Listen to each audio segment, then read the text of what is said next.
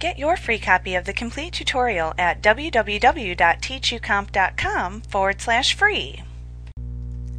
If you want to save the image you are creating for web display, then you can use the Save for Web and Devices, or just Save for Web if you're using version CS and earlier, dialog box to make sure that the image file is as small as possible without sacrificing image quality while ensuring that the format that you use will display correctly online.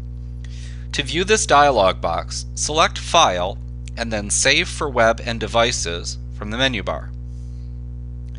You can then use the settings available at the right side of this dialog box to determine the size and download time for the image once it's uploaded to the web.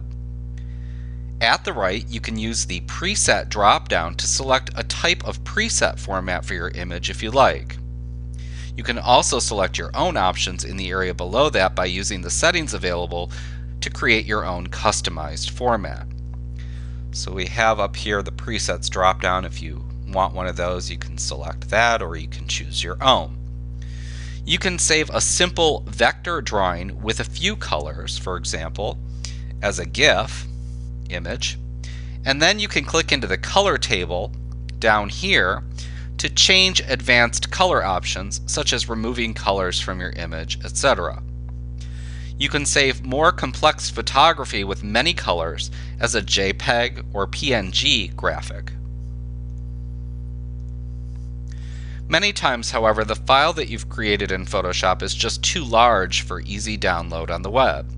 In that case, you can use the image size area towards the bottom of the right side of the dialog box right down here.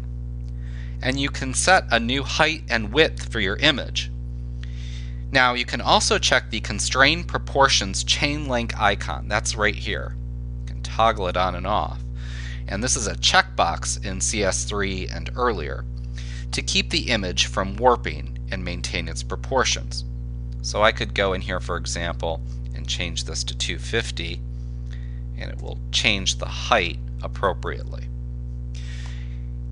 You use the quality dropdown to select which resampling method you want to use for the graphic. We've seen these before. Now, note in the lower left corner of the image preview are the current settings for your image, right over here. You will see its format and then its actual size, and below that you'll see how long it will take to download at a given speed of internet connectivity. If you right click in this area, you'll see a pop-up menu where you can change the download connectivity rate and thus the download time to view how long it will take people with different rates of internet connectivity to download your image. So you can just click into one of those, for example, and see how long it will take. In this case, two seconds. That's a pretty short download time. When you're ready to save your graphic for the web, you can click the Save button right here, and that will launch the Save Optimized As dialog box that we see here, where you can select to where you want to save the optimized image file and what to call it, just like we saw in the last lesson. And when you're ready, you just click Save Again.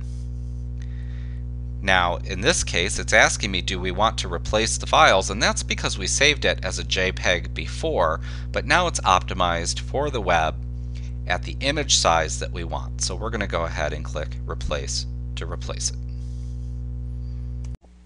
Like what you see? Pick up your free copy of the complete tutorial at www.teachucomp.com forward slash free.